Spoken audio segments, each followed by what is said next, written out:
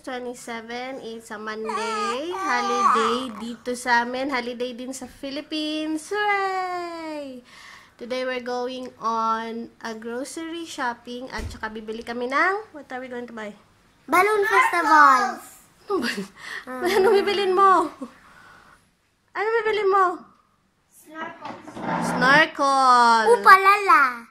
Bili kami ng snorkel. Hindi na namin kayo isasama kasi safety first. It's not safe to vlog outside. So, babalik na lang kami for a grocery haul. See you later! Hi guys! Say hi! Hello! So, we're back. Galing kami sa grocery store and ito na yung pinamili namin. Hi! We are going to do a haul with this things that we bought. Okay, we start with Kaidi's favorite, which is a... Great. Okay, put it up, put it up, show it. Wow, grapes. Medyo mahal ang grapes ngayon, pero you have to buy it because it's Kaidi's favorite. Next is... Diaper, diaper. Diaper. Mommy's napkin. It's Kotex. Kotex. Okay, next we have the Rock Rock Rock Rock. biscuit. It's a Rock Rock biscuit. It's their favorite biscuit. Yeah, we, how many did we buy? Of the Rock Rock biscuit? No? Oh, one, two, three, four is for rock rock. Okay, we bought four Rock Rocks. Then what else did we buy? Corn beef. We bought corned beef. You show them the corned beef properly. corn beef. Yan. This corned beef, pinapasalubong din namin siya sa Philippines. It's ox and palm corned beef. Oh, put it there. What else did we buy? This is random stuff kasi sila ang nagpipick it up. so this one is a cooking chocolate because sometimes mommy bakes. Mommy bakes what? Brownie. Brownies. And then kuya is showing you our 5 kilo jasmine rice. Imported yan from Thailand. Okay, put it back. Put it back. Okay, and then we have chocolate chip cookies. We cannot find the one from the Philippines, so we just pick this one up. Kuya, we start Then with the we- biscuits first. Then we have uh, Colgate. Then we have Colgate. Colgate for, who is that?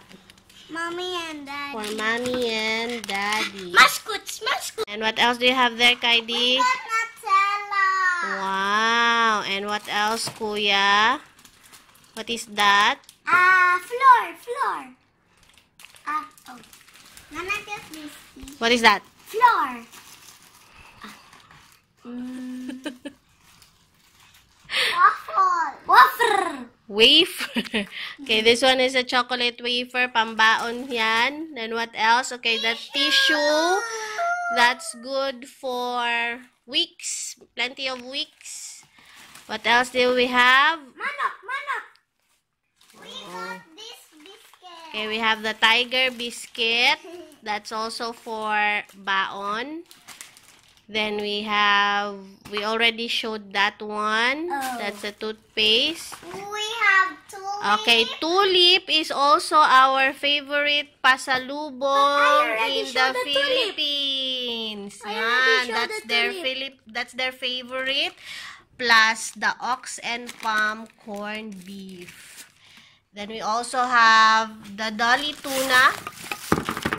The Dolly tuna, wait, the Dolly tuna is, so Papua New Guinea is popular for the tuna. So this is one of the products from one of the province. Anong province to, Daddy?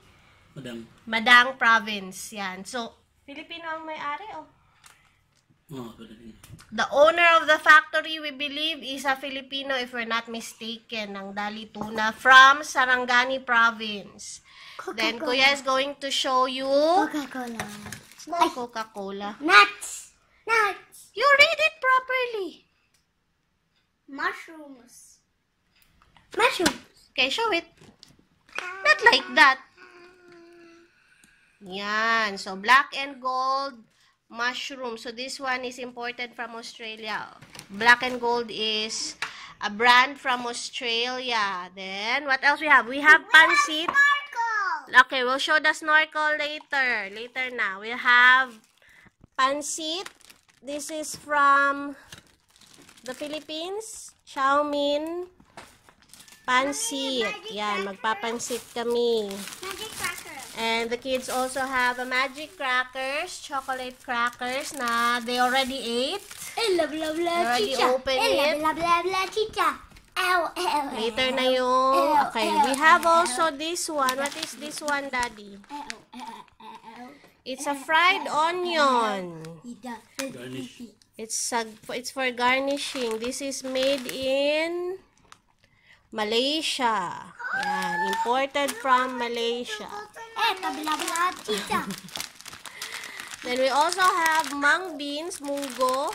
Sa atin, tig 10 piso lang to dito. Super mahal. This is imported from Australia. So most of the products that you will see here are imported either from Australia or the nearby countries. What they have here is basically the organic local food, yung mga root crops, mga something that they grow from the garden. So, Kaidi is modeling you her snorkel.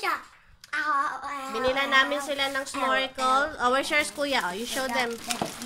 Binila namin sila ng snorkel kasi natututo na silang mag-swim. So, may mga request-request sila. Eh, blah Show your chicha. snorkel. Eh, blah blah blah blah chicha. Okay. So, playful talaga yan si kuya. Kaya ganyan. So, he's showing ano. Yan. This one, local na to. Let's see if it's a local product. Ayan. Local. Local shallots. Yan. Yung mga ganito na garden food, ito normally ang local food. Pero pag pre-packed foods, katulad na meron dito sa table, these normally are imported. So, we have Milo. Milo every day for school. So, we have 1, 2, 3, 4, 5, 6 of those. That's gonna be good for 2 weeks. I need butter. And they have the Anchor Milk small one. That's gonna be for school too. That's 10 pieces of gonna. 10 pieces of those. We got butter. Yan. Then we also have Butter. we have two sticks of butter because mommy sometimes bakes. So mommy will just show you what I bake for is brownies at saka butter cakes. Yan, gusto nila yan. Next is we have the Ilimo milk. Ilimo is a local brand. Ito look um they only started this year. But normally most of the um ano to, yung fresh milk is galing from Australia. But this one is local. They started this year. So this one is, what flavor is that? Strawberry. Strawberry flavor. Show you the... I cannot see. Turn it around. Yan. That is a what? Tell them. No, tell them what is that. shampoo. No, it's down there. You can read it there. Bubble bath. Bubble bath. Why did we buy that? Ah, so so that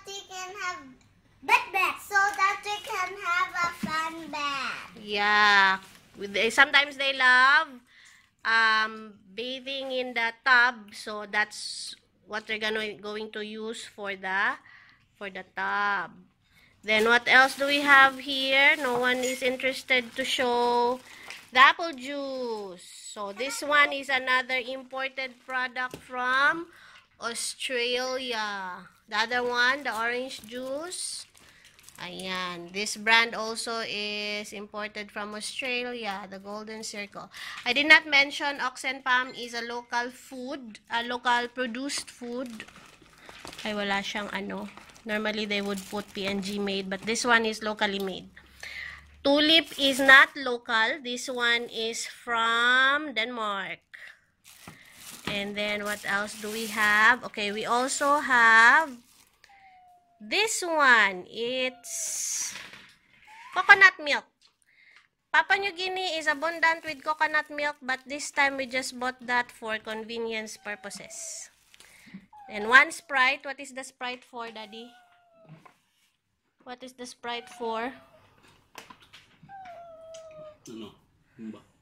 Humba. Okay, daddy is Bisaya. Maggagawa daw siya ng humba. So, this one is locally made. You see, it's PNG made. So, um, um, the locals prefer prefer their soft drinks, their so, co, uh, soda drinks locally made. Kasi wala silang tiwala sa Oh, that, Oh, that's poisonous, ah. Careful with that. Okay, and then we have our favorite, our favorite laundry soap. That's the liquid laundry soap that I use. It's made from Malaysia.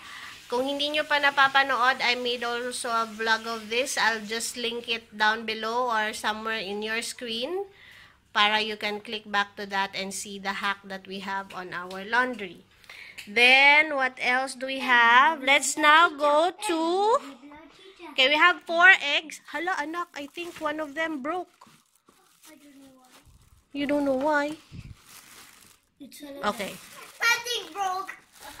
good thing. Okay, so, when we shop for grocery, this is for two weeks. So, that's why ang dami, dami, dami niya. Because this one is good for two weeks. We call it fortnightly grocery shopping. So, we don't go back except only kung may, as in, ubus na, ubus na, ubus na. But as much as possible, we budget it for two weeks. So, I would normally get six eggs, six trays of eggs, but then I don't know the price because when I was trying to purchase it, wala siyang price. Ganyan ang egg dito. It's brown and the shell is actually hard. Kaya pag umuwi kami sa Pilipinas, unusual sa amin yung very thin ang shell ng egg. Kasi ang eggshell dito, mat matagal siya ma-break. Yan. Then we proceed na to the Honey, don't hold that. It's poisonous. Okay, so give it to... Okay, mommy will be the one to get that. They have been holding this. So, I bought this one. This is for the toilet seat. For the toilet. Kasi medyo may stain-stain na yung aming toilet. So, I'll just put this one. I tried it only and it's super expensive. Saan ba to gawa? Sabay-sabay nating tingnan kung saan siya gawa. Pero ang mahal-mahal niya as in, ang katumbas niyang price is dalawang tray ng itlog. Okay, so from Australia siya. So super mahal niya. Yan. I'll put it down kasi poisonous. Okay, let's proceed to the vegetables. So we have this. This is snake bean, sitaw, locally made, local produce. So dalawang sitaw. Dalawa lang. Dalawa lang. Do you know your. Do you know your Filipino number? Hindi. Hmm? Isa? Opo, isa, dalawa, tatlo, apat, lima, anim, ot, Pito? pito, walo, Siyam? sampo, Siyam? sampo, Siyam, sampu. Uy, don't open that. Okay, then meron tayong um, cabbage. Local din ba siya? English cabbage. So, walang nakalagay kung local. Hindi natin alam kung saan siya actually galing. Yeah, pinakita na natin yung orange. And then meron tayong cost lettuce. Ito ay, alam ko locally ito kasi from Sogeri, it's from Sogeri, just outside um, Port Moresby. Then, ang onion dito na ginagamit, madalas is white. Yung purple, pang ano yun eh, pang salad. So, we have the white onion. So, you see this one is imported. Nilalagay naman nila dyan. So, imported onion. Ah, ilang kilo siya? Ilang kilo to? Anyway, kaya na bahala. um, lemon. Ang lemon is, doesn't grow. Meron silang local lemon but that's green. It's more of a lime. So, this one is imported. And also carrot. Ito ay imported carrot. Hindi namin alam kung bakit walang local carrot, but this one is imported carrot. So it's more scary actually to buy imported products, but then the reality is most of the produce products that they have here is imported. So this one is bak wombok, sorry, imported. Ang mahal niya actually 21. Halos kapresyo niya yung panlinis ng toilet. Then we also have eggplant. So this is local. Yan, maliliit lang siya. Maliit lang. And then we have sweet corn. Yan, local. Local produce lang siya. And then we have onion, ah, garlic. Garlic is imported. They don't grow garlic here. And then we also have potatoes. Ito, local din to. What they grow mostly here is root crops. So, kapag potato, um, what else? Um, Korangus. potato, sweet potato, yung ah, kamote.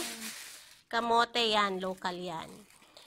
And then, ang milk namin, ang milk namin is just normally instant coffee, not 3-in-1. We don't buy 3-in-1. Very seldom lang yun. Eh, Kung mag kung magpipiknik lang kami or lalabas, something like that. Pero mostly, ang coffee namin is beans, then gina-ground or ground coffee na siya. So, this one is already ground. Papua New Guinea is also known for their coffee. So, this one is a good coffee, but I don't normally drink it kasi super tapang talaga siya. That's why, meron akong instant coffee. Ito is for Daddy Jimmy to. Because he likes his coffee brewed. Yan. And then, dito kayo magugulat. Meron tayong isang dozen ng milk. This is Devondale milk. Alam ko meron ito sa Philippines kasi one time na umuwi kami, naghahanap kami ng milk. Ito yung, may nakita kaming ganito. Ito din yung binili namin. So, ito. Isa to sa pinakamura. Mahal kasi, um, yung iba kasi mahal na siya. So, okay naman siya. Creamy din naman siya. So, this one is imported from Australia. Kasi yung locally produced na milk, yung pinakita ng daughter ko kanina, ma medyo mahal siya. So, yan. And then, say hi. Okay, so ito pa yung iba pa namin pinamili. Nilagay na kasi siya sa ref ni Daddy Jimmy. So, bumili kami ng pork. Pork mince, chicken breast, pork bones, yan. Pa yung iba naming binili. Yan lang naman. So, this is good for two weeks. Meron na rin kaming supply ng fish. Nakabili si Daddy Jimmy ng fish kanina. So, ang total ng grocery items namin ay um, 687.10 kina. Tapos, bumili si Daddy Jimmy ng fish kaninang morning. That's a, um, yung fish budget niya is 110 kina. So, all in all, pasok naman kami sa budget namin na 800 kina in 2 weeks. So, you multiply that by 15, yun yung aming 2 weeks budget para sa food and grocery items. Para sa food lang yun. So, kasama na lahat doon yung yung fish, yung pork. So, unlike sa Philippines, ang kanilang, ang aming pork, chicken, and everything, ay binibili sa grocery. Kasi ang wet market, hindi siya, hindi siya nag, um, bebenta ng gano'n. So, si wet market, hindi siya nagbebenta ng pork, ng chicken. Ang binibenta lang ni wet market ay ah, garden food. So, meron silang kangkong, meron silang pechay, may um, kamote, staple food nila yon um, bilanghoy, bilanghoy, yun na, mga root crops, yun ang kanilang staple food. So, yun ang meron sa palengke. Si pork, hindi siya available sa palengke, although nag-grow sila ng baboy. Kung bibili ka ng fresh na baboy, bibili mo siya ng whole. So, hindi naman practical yon for a consume of, ano, of, um, two weeks. Kaya, bumibili kami sa, ano lang, sa, um, sa grocery. Yan. Pag fish, yan. Pwede kang makabili niyan sa local market. At ang sistema ng pagbili ng isda ay hindi per kilo, kundi per bundle. So, kung maganda ang panahon at maraming isda, mura ang per bundle. Pero kung masama ang panahon, let's say nag-uulan, maalon, ganyan, halos wala kang mabibiling isda, so super mahal yun. Yan. So, yan ang aming grocery haul for the whole two weeks. Um, sana na-enjoy nyo, tapos nabigyan kayo ng konting insights kung anong meron dito sa Papua New Guinea. Um, thank you for joining us. Kaidi, it's your turn. Okay, hindi ta ah, hindi na makapaghintay yung aking bunso about her grapes. Actually, kanina pa yun siya naghihintay before pa mag-haul. So, hugasan natin siya. Ito na naman siya. What will you say? Grapes. Say hi, grapes. Hi, grapes. So, hugasan na natin yung grapes. So, ganito ako maghugas ng grapes kasi nga hindi mo naman siya babalatan. Kakainin mo siya kasama yung balat. So, dapat pati yung balat malinis. So, this is a baking soda na recycled na lang yung lalagyan. Just a tablespoon of baking soda sa water. Thank you. Thank you for my Tap making. water lang yan. Thank you for Yan. my making. Then, halo for my lang. making. Thank you for my making. Thank you. Comedy talaga si kuya. Mommy, hot water. No, tap water, not hot water. And hot water? then, top, not hot. Tap, galing sa tap. Yan. I like Bababad grapes lang with this natin water. Si grapes for at least about good one minute or two. Yan. And then, hugasan ulit. And then, that's good to eat. Ganyan ako maghugas ng grapes and other fruits. Fruits, lalo na yung mga fruits na hindi siya binabalatan. Oh, hindi pa. Wait lang. I like grapes Wala pang water. 12 minutes.